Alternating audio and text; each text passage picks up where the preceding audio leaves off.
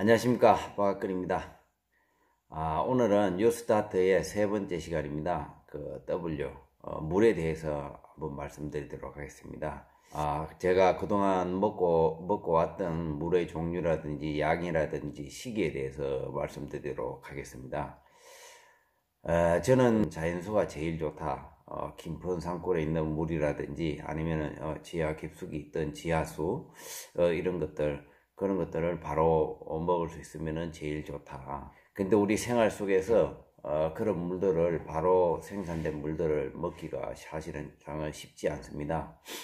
그래서 저 같은 경우에는 집이나 뭐 이렇게 저 다른 어떤 시설이나 갔을 때에 대부분 그냥 일반 정수기 물을 먹었습니다. 한 2년 전부터인가 그 정수기 물에 이렇게 그 보관하는 그 통이 좀 더러워질 거라는 이런 생각들이 들더라고요.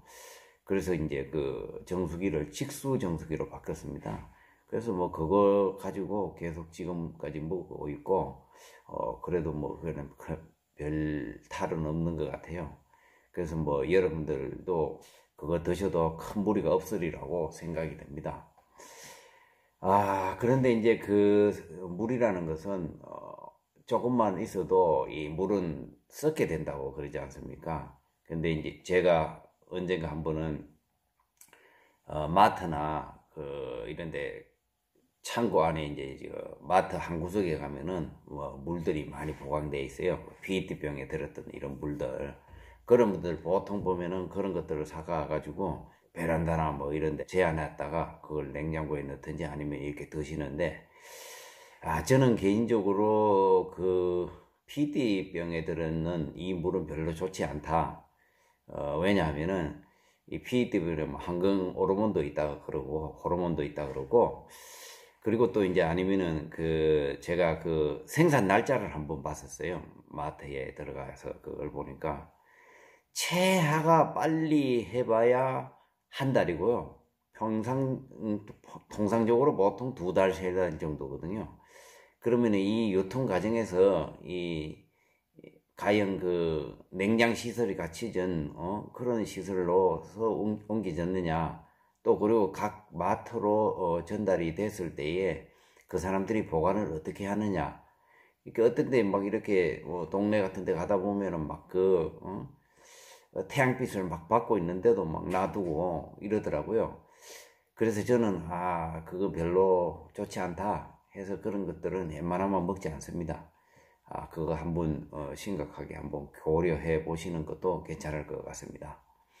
그러면은 이 물들을 어떻게 어떤 어, 온도에서 먹느냐 아, 물은 최소한 어, 자기 그 체온 36.5도 되는 어, 그 체온에 비슷한 온도에서 온도의 물을 드시는 것이 가장 좋다. 그보다 약간 따뜻하면 더욱 좋겠죠. 어, 그렇게 드실 수 있도록 예, 노력하시고 이 찬물은 웬만하면 어, 안 드시는 게 좋을 것 같습니다. 그리고 이 물들을 이제 그 먹는 어, 방식을 어떻게 먹느냐. 어, 하루에 이제 어느 시기에 먹느냐. 식사하고 난 뒤에 2시간 뒤에 어, 하루에 세 번, 아침, 점심, 저녁 이렇게 세 번에 물을 한 잔씩 마십니다. 이것은 왜 그렇게 하느냐? 에, 식사하고 난 뒤에 우리는 옛날부터 뭐 물을 많이 드시고 그랬는데 아, 음식물하고 물하고 섞여버리면은 아무래도 그 소화력이 낮아진다고 합니다. 그래서 어, 웬만하면 국물을 많이 드시지 않는 그런 식습관을 들이시고 그리고 나서 이제 그 바로 물 드시는 것보다는 한두 시간 뒤에 드시는 게 더 합리적이라는 이런 생각이 들더라고요. 그래서 이제 아, 밥을 먹고 나서 어, 두 시간 뒤에 이렇게 하루에 세 번씩 마시고 그리고 이제 식사 전에 30분 전쯤에 아, 세 번씩 이렇게 해가지고 물을 한 잔씩 마시는 거. 어, 그리고 아침에 일찍 일어나면 쓸 때에 이제 물을 한 잔 마시고 그리고 자기 전에 이제 물을 한 잔 마시고 하루에 한 8잔 정도 이렇게 또 저는 먹고 있어요. 어, 제가 그 이교 교수님의 물 먹는 방법 이거에 대해서 어, 교육을 받아봤는데요. 어, 거기에서도 이렇게 가르치고 있다고요. 그래서 현재 저는 그렇게 먹고 있고요. 그리고 이 물을 어떻게 먹느냐 그 보통의 어떤 분은 그러더라고요. 물을 막 우리는 사실 뭐 보면 벌컥벌컥 이렇게 마시는데 이런 것보다는 물도 하나의 음식이다. 아, 이렇게 생각을 하시고 입에 넣으시 가지고 조금 시간적인 여유를 두고 조금 한 분씩 씹으면서 천천히 어, 드시는 것이 좋을 것 같습니다. 아, 그리고 보통의 경우에 등산이나 산을 가고 운동을 하고 이럴 때에 물을 드시는데 올라가서 이 갈증을 느낄 때 물을 드시는 경우가 많습니다. 이렇게 드시는 때는 이미 세포가 많이 말라져 있는 상황이고 이렇기 때문에 어, 물을 드실 때는 운동을 하기 전에 갈증을 느끼기 전에 물을 드시 먹으라고 그렇게 하더라고요. 그래서 저도 가만히 생각해 보니까 그게 옳은 방법인 것 같아요. 그래서 항상 그 어, 이제 보통 이 운동하러 갈 때에 어, 집에서 식사하고 운동하는 장소에 도착하고 이렇게 되면은 뭐 1시간, 2시간 정도 지나면은 땀 흘릴 것 같으면은 그때에 물을 한 잔 일단 마시고 올라가서 어, 나머지 이제 또 한 잔 마시고 어, 이렇게 저는 생활하고 있습니다. 이게 물의 양은 어떻게 에, 조절을 하느냐? 에, 그 물의 양이 너무 많아도 안 되고 너무 적어도 안 되고 아, 그래서 이 양 조절이라는 게 굉장히 중요한데요. 그래서 여름에 같은 경우에는 뭐 한 2리터, 1.5에서 한 2리터 정도에 겨울에는 그 양이 좀 줄어듭니다. 그 이유는 어, 이, 겨울에는 그 땀으로 배출되는 외부로 배출되는 이런 부분들이 적기 때문에 그런 조절을 해야 되는데요.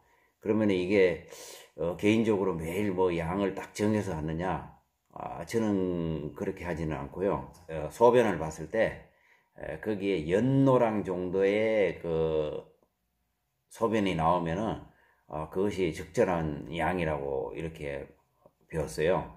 그래서 그 부분을 잘 조절하시고 이 보통 이제 저희들은 이제 그 화장실이 보통 보면은 그 물이 들어가 있는 이런 변기에다가 어 물을 저 소변을 보는데 거기 색깔을 연노랑으로 기준으로 하시면은 그건 착오를 일으키는 겁니다.